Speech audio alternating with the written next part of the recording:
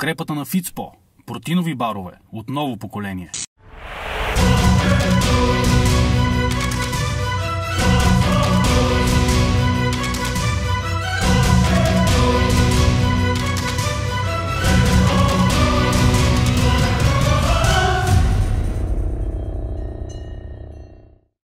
Започват Супер сериите Плюс. В днешния епизод ще отговориме на вашите най-интересни въпроси от нашия форум. За целта сме събрали целият екип на Боди Конструктор. Професионални треньори отговарят на вашите въпроси. Гледайте ни до края, за видите кои са те.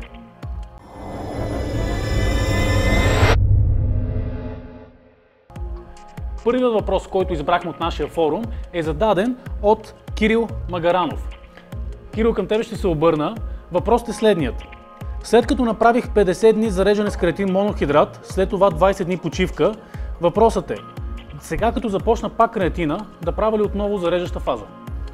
Нашето тяло поддържа естествено ниво на креатина и, както знаем, дългите тренировки, изключителните тренировки изчерпват голяма част от наличния ни креатин, за да се синтезира АТФ, за да се използва за енергия по време на тренировка. Именно това обославя зареждащата фаза на креатина да напълним това, което е изразходено от, по време на тренировка и след това вече само да поддържаме нивата на изчерпан креатин след тренировка или да се заредим с креатин преди тренировка. За 50 дена тялото ни получава достатъчно креатин. В следващите 20 дни, когато не се ползва креатин монохидрат, зависи много от храната, която а, приема потребителя. Ако се храни с богато, на, богата на креатин храна, като червени меса, телешко или използва телешки протеин, той ще държи едно ниво на креатин или ако тренировките му не са толкова тежки, няма да, да се наложи да изчерпи до такава степен креатина, както ако не е взимал примерно половин година една година, или ако изобщо не е взимал креатин монохидрат. Или както примерно вегетарианците, те имат нужда от доста повече креатин монохидрат. Така че, ако тренировките не са били толкова тежки, ако храната е пълноценна, не е нужно да се прави отново зареждане. Но ако тренировките са продължили да бъдат изключително тежки, натоварени с много разход на АТФ, т.е бързи, тежки серии и повторения, тогава може да се наложи отново да се зареди поне за няколко дни. Кажи ни за финал, различно този зрител, каква е най-добрата схема за прием на креатин, така горе-долу универсално, ако мога да я кажем, а, схема или цикъл, как да приемаме и кога да приемаме креатина?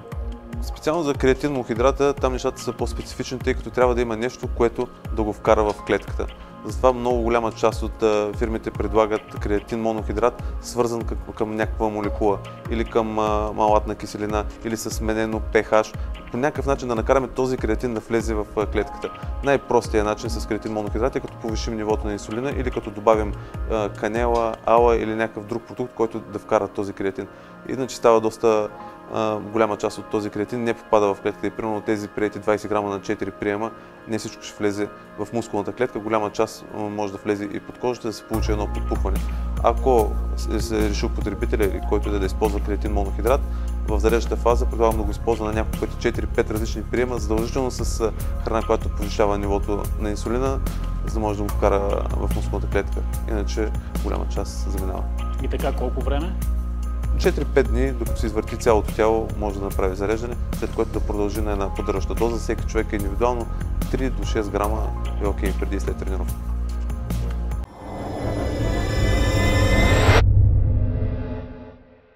Следващия въпрос, който избрахме и насочихме към Станислав е зададен от Кристиян Димитров.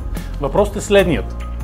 Стажа ми в залата вече е 5 години, сериозни тренировки без прекъсвания. Имах много лоша стартова позиция, 175 см, 56 кг. Футболист като солета.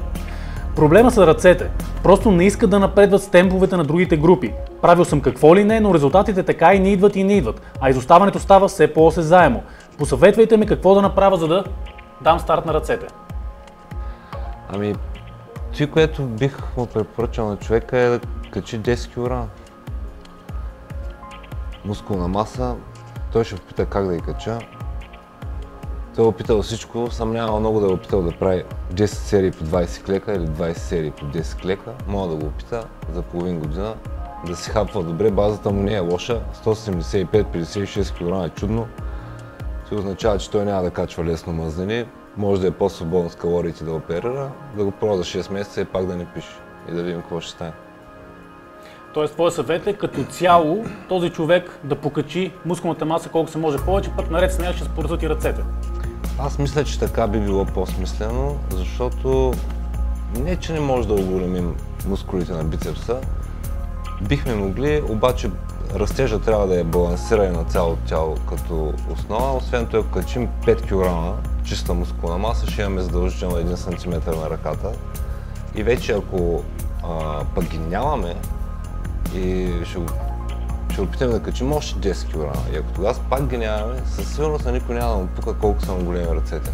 И тогава вече може да почнем да правим скотово сгъване, бицепсово сгъване и така нататък. Защото ако го направим обратно, сега да му кажа някакви страхотни, невероятни упражнения с ъгли или комбинации на ръце 7 дни на седмицата, нали, съответно би го подвел момчето.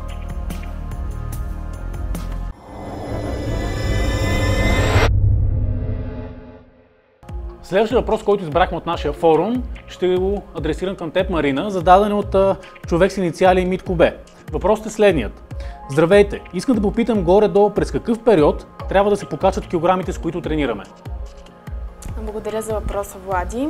А, всяка една тренировка трябва да бъде по-добра от предната тренировка, независимо дали работим с тежести или освояваме определени техники.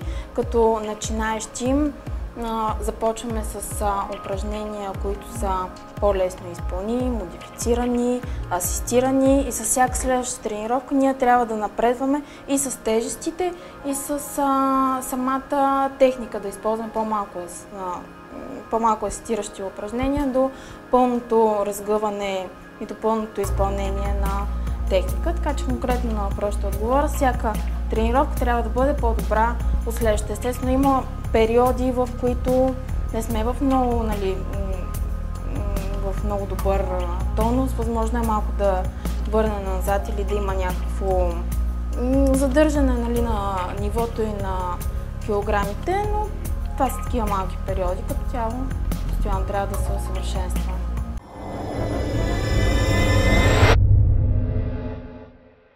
Остана да отговориме на още един въпрос, зададен от а, Валентин Вангелов. Дани, към теб се обръщам. Въпросът е следния. Здравейте на всички! Искам да попитам какво мислите за пълнозърнците спагети. И другото, което бих искал да питам, добре ли е да ги използвам като валехидрати след тренировка заедно с телешка каймана с кара? Много хора а, харесват пълнозърнистите спагети. Вероятно става въпрос за пълнозърнисти пшенични спагети. Лично аз не съм привърженик на пшеницата и като цяло на глутеновите храни и по никакъв начин те не биха, според мен, повлияли положително на мускулния растеж. Даже напротив, по-скоро биха забили надолу мускулния растеж и цялостно развитие на организма, защото човешкият организъм не е пригоден да освоява глутен. Глутена прави реакция на кръвта на аглутинация, което прави сгъстяване на кръвта. Следователно, кръвта не се транспортира добре до мускулите. Там въпроса дали е дали тези спагети са полезни. Според мен не, не са полезни и няма да свършат добра работа. За телешката каймана скара индивидуално е червените меса, не при всеки се освояват добре, но може би ще свършат, ще свърши добра работа.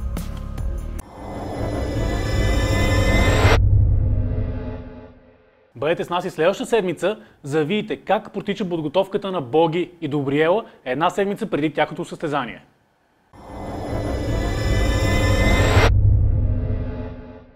Както обещахме, всеки споделил клипа на Фитспо и Станка Златева има право да участва в томболата на Фитспо. За по-малко от 10 дни в играта се включиха повече от 700 човека. Днес ще изтеглиме 10 от тях, които имат право да се здобият с цял стек протеинов шейк Фитспо. Първият човек, който ще отиде вкъщи с Фитспо шейк, това е Иван Николов. Вторият е Лили Стефан, Кръсто Нешев, Цецо Ганев, Бисер Петков, Ани Чепандова,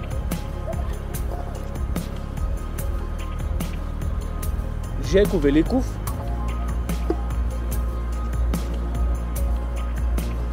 Стевка Колева,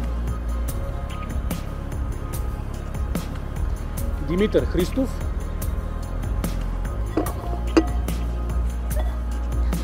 И последният човек, който ще получи цял стек фит по шек, това е Станислава Петрова. За да получите своята награда, пишете на admin.bodyconstructor.com Три имена, адрес и телефон за връзка. И не забравяйте да гледате супер серията на Body Constructor, съвместно с подкрепата на Fizpo Shake. Съвета на Constructor тази седмица е насочен специално към начинаещите в залата. Ако вие не знаете как да постъпите с първите си тренировки, ако не знаете как да се храните правилно и диетично, то задължително се обърнете към професионален треньор. Треньор, който ви помогне в първите стъпки, да ви изготви подходяща програма както за трениране, така и за хранене.